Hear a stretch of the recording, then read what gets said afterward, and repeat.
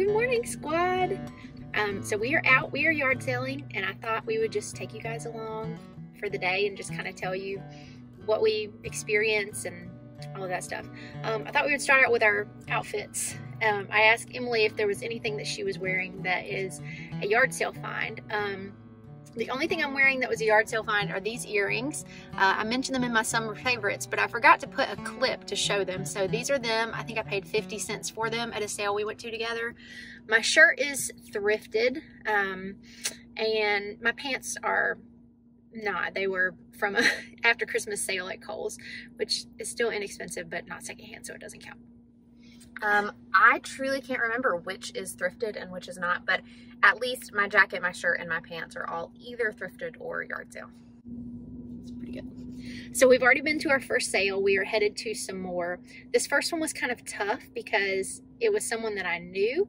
Um, Abram picked out three items and they really were just little inexpensive things. I probably would have paid a quarter each for them, so 75 cents total. Um, she asked $2 and I felt bad bargaining because I knew her and knew her family, so we paid $2. And I got a set of glasses. Um, we saw the same set of glasses that my mom has, and so I bargained for $2 for the whole set, so I think that was 16 glasses. And I also got a stainless steel spatula that I've been looking for. So Kellie actually found that. She knew I was looking for it, and so I got all that together for $2. It's another advantage of going with a friend is after you go a couple times, you know what you're looking for. You can help each other out.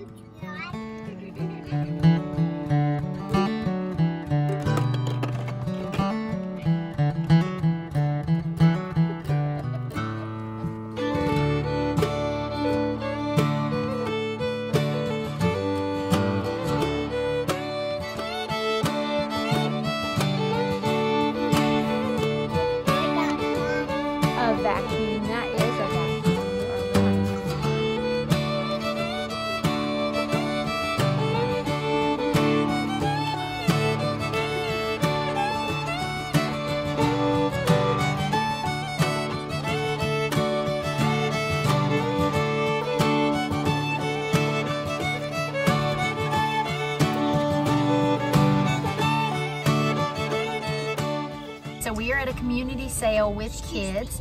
Going to yard sales with kids is totally different than going to yard sales without kids. So um, a couple of tips is to be practical with what you let your kids buy. You know, tell them that they can pick out some things, but also provide some healthy limitations.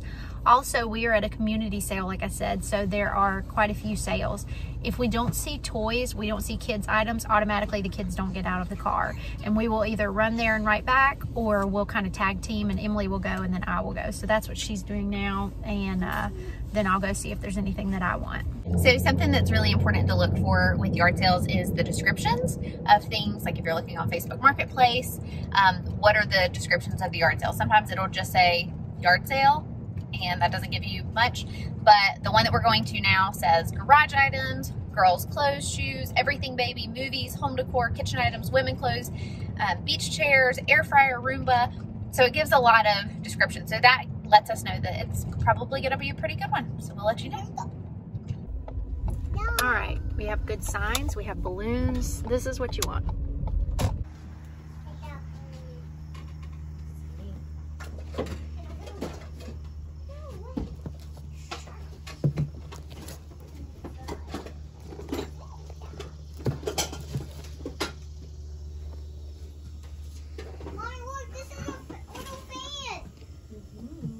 Okay, we are back home and it's a couple of days later and I just want to show you the things that we got. Most of the things that we got were things that Abram wanted. Uh, I didn't really limit him today on picking out one thing. We just had a good time and as long as things were reasonably priced, I let him pick out a few things. So I'll start over here. Like I said at that first place, I paid a little more than I wanted to just because I knew them and I knew their family.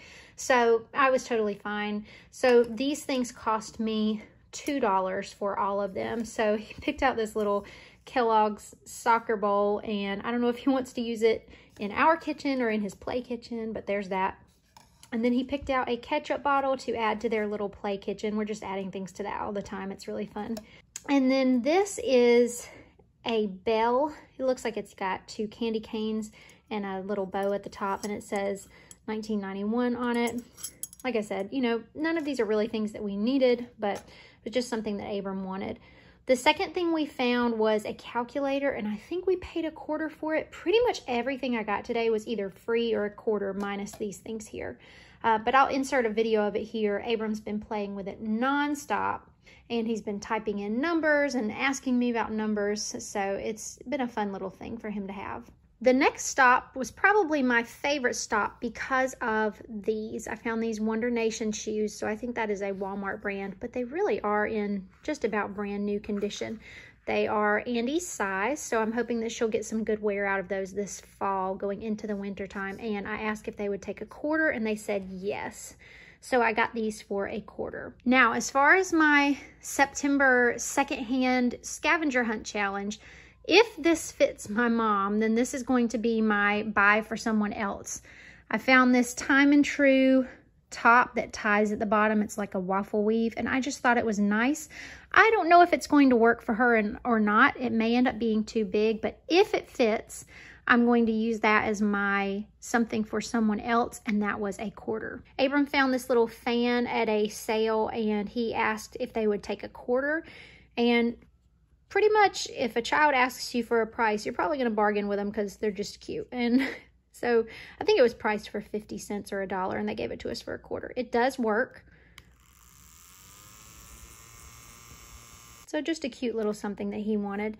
And then the last thing was this little pop gun. Um, it is from Cabela's. I'm going to see if I can find the retail price of it and compare it here. Um, they actually just gave this to us for free. There were a lot of kids at that sale that were selling their things. And the little boy was so cute. He just kept wanting to give Abram things. So we got this, but you can see it has some marker on it.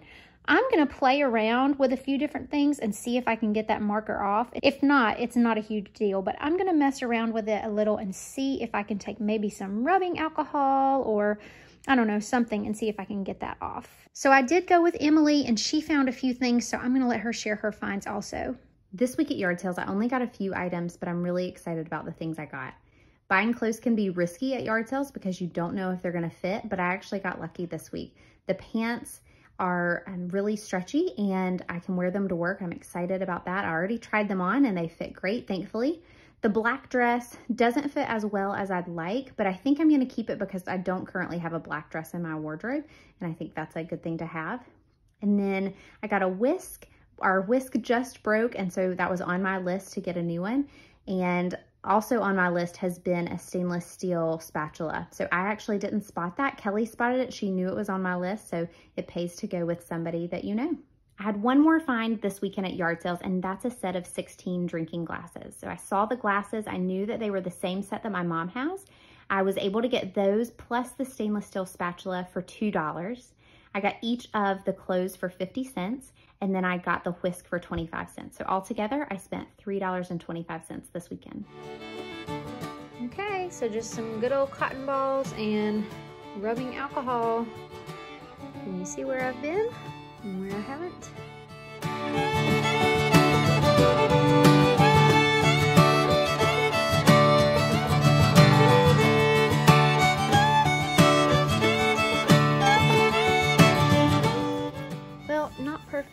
Definitely an improvement.